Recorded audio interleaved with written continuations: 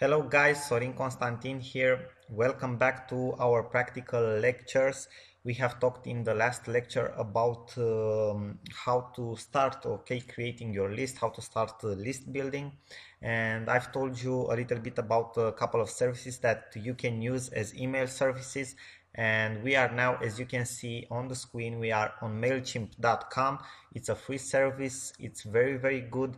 Uh, it's free obviously till a certain point but uh, it's something great that you can start with if you haven't done list building till now or uh, if you just start to build your list it's uh, absolutely great to start with mailchimp. It's very easy to use. They have uh, they have a great service and they deliver they deliver very very well now I will show you exactly how my dashboard looks in MailChimp. If you will enter MailChimp.com, you can sign up for free. You see here you have the sign up for free button, but I will log into one of my accounts on MailChimp. You can create more accounts if you want, obviously. I have a, an account uh, with some small lists that I use for some course launches and I will show you a little bit uh, how you can use MailChimp, how you can set up uh, a list, okay, because the first step uh, that you need to do in uh, in order to start building a list is to create a web form okay? Is to create a, a, list inside your email service. And after that create a web form through which your subscribers can enter that list okay? I hope this will make sense and i will show you exactly what does that mean okay you see here is my dashboard. This is my last campaign that i've sent. Okay it was like an email sequence that I've sent in three or four days in a row okay for a course launch that I've uh, did here on a local scale in Romania for a digital course. Okay now I will show you exactly I uh, how is the list section inside MailChimp because I have more lists here on uh, on this account. So you can have an idea exactly how it looks like okay as you can see I have entered in the list section. And here you have like uh, every single list that is here. Okay.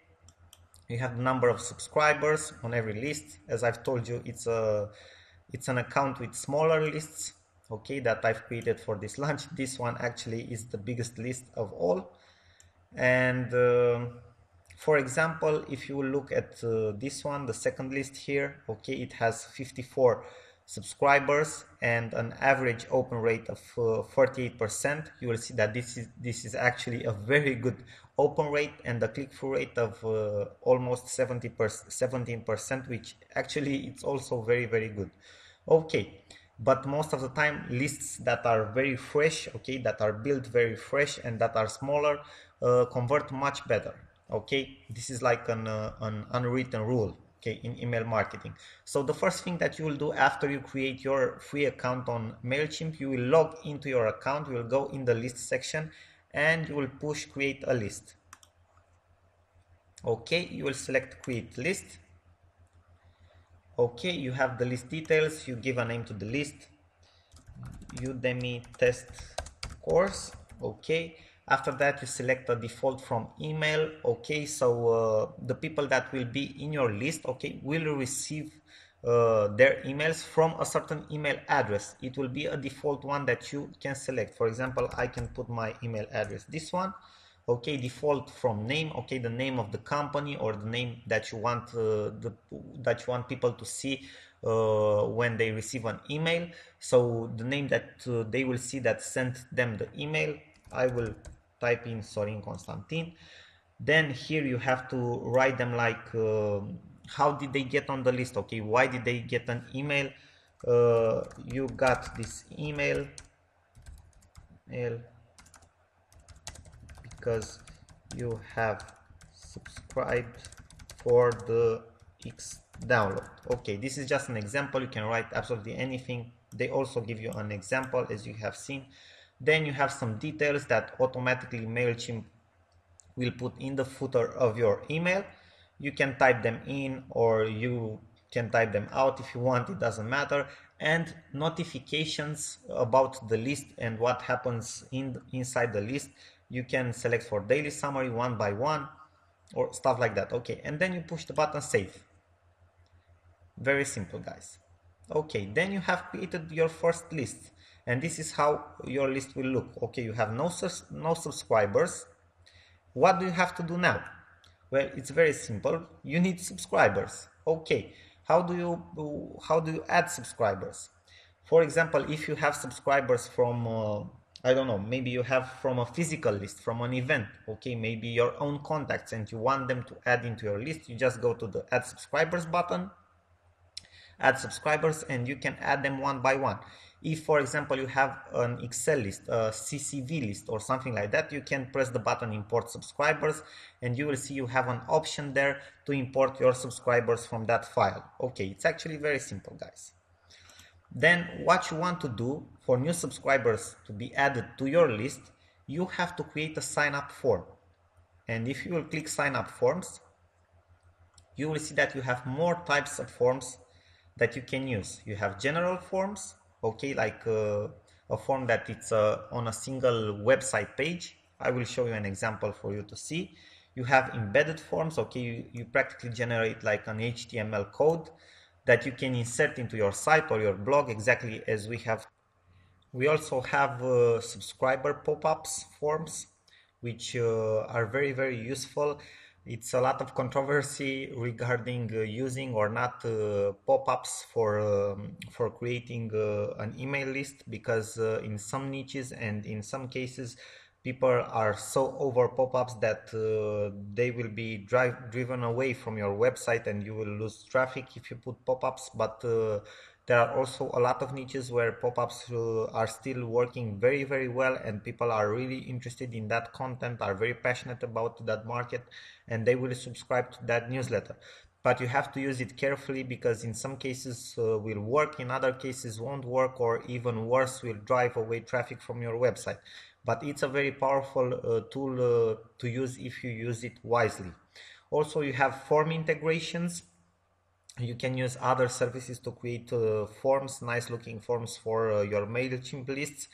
Uh, and after that, you can integrate them with uh, MailChimp. I want to show you a very simple form, a general form to, to see exactly how you can build a simple form. It's actually very very easy. You will see guys it's a step-by-step -step process that you can follow. You you just for example you go to general forms and uh, it's actually very simple to create a general form uh, you you leave the selected one as a sign up form. As you can see here you have more options like a sign up form with alerts a sign up thank you page. Okay there are different stages of your sign up process but uh, simply for now a sign a general sign up form has all of this uh, can have all of these pages that you see here. A sign up form with alert a sign up thank you page at opt-in confirmation email at opt-in confirmation capture. You can have all of this in a single sign up form. But for example we leave now the sign up form as it is simple. Here you have the link where where mailchimp will host for you your form. And here you can see exactly how your form looks like. It's like a preview. And you have a menu in the right part of your uh, of your dashboard. And in the menu you have fields that you can add to your form. Then you have the field settings, another option, okay, where you can uh, you can select some custom settings for your fields. Okay. Also you have a design option here.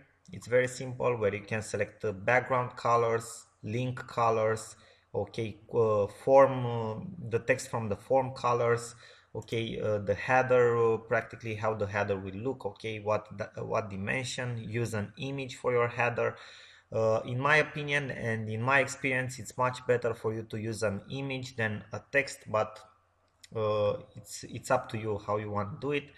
You have the outer wrapper okay how to look also the body if you want to the link style okay the default text uh, exactly format uh, the foreground okay exactly this uh, the, color that you see here and a, a lot a lot other options okay but this is how your form will to, will look like. Mostly let's have a look at it uh, on the page where it is hosted.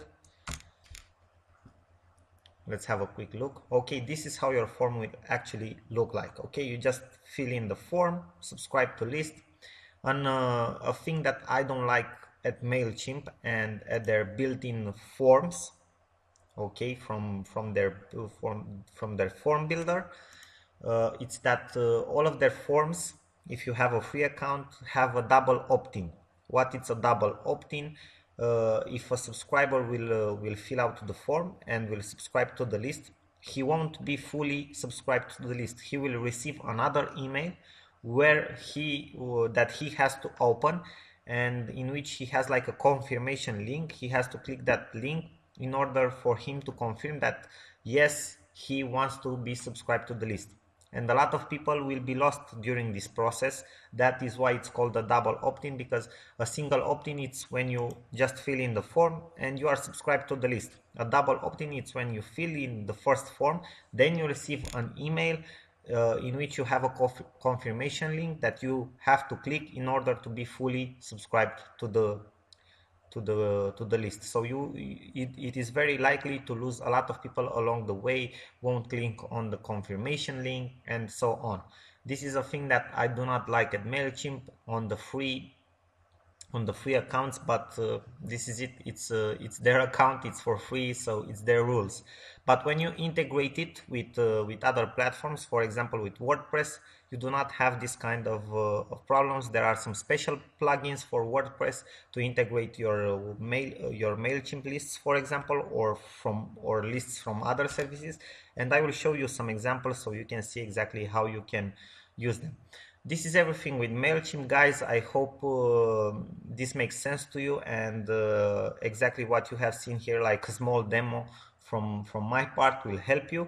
It's actually very simple. You have created a list, you have like a sign up form and after that you can create your first campaign. You just go to the campaign button, uh, you push the create campaign button and everything goes smoothly from here. I'm sure you won't have any problem. As you can see, it's a very user-friendly platform and I really hope that my demonstration will uh, help you uh, will help you create sooner your your first list and your first campaign with uh, MailChimp. Thank you guys and I will see you in the next practical lecture where I, where I will show you um, how to use some um, some plugins for your WordPress site in order to integrate your uh, list building with your